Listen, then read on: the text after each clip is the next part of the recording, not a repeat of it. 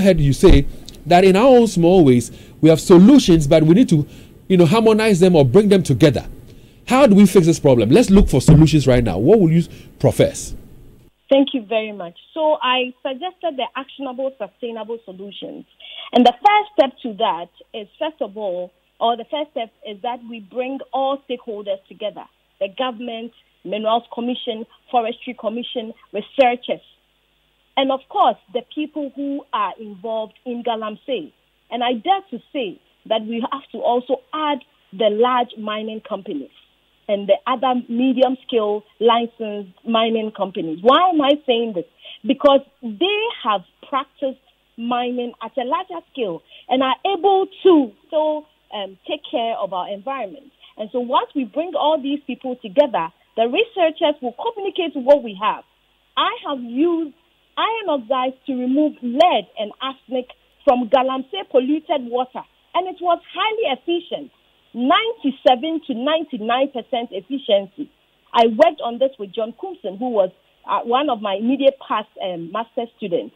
And so, and I also worked on something like this during my PhD. And so we are able to do it.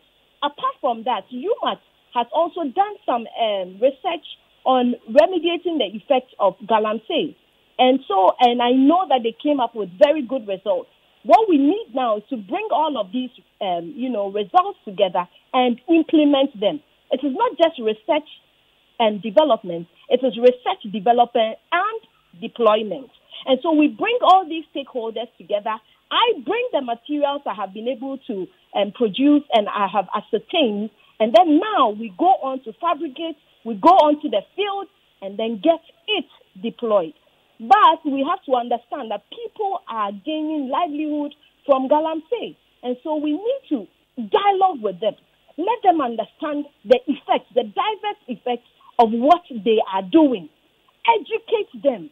When you go to large mining companies, they are training, training, training. What stops us from training these people, giving them a concession to maintain their livelihood so that we resolve the whole menace? We are able to do it because we have not just been trained to come and sit here and relax. We've been trained to serve humanity. And I stand for that. And so this is how I think we can manage the whole Galamsey menace. We don't have to fight with them. Uh, it's okay for you to call it a fight, but remember, we are brothers and sisters. If we do not stand up together, you are talking about Chinese doing this and Chinese doing that. They have been able to um, create a strong niche for themselves. They go into other cultures, they study what the culture has to offer, and they're able to replicate it to their advantage. We are here still complaining. Instead of complaining, let us get our gari done. Let us resolve our land issues. Get to our farming. We need to hold the gates of what we have. We need to train our young people and our middle, whoever it is. Let us come together as a people nation for ourselves. People are leaving the country. The economy is difficult. It is all because we have not decided to work together as a people. Let us not see this as a fight. Let us see this as resolution or remediation to what is bothering us. And I believe we will be able to create impact.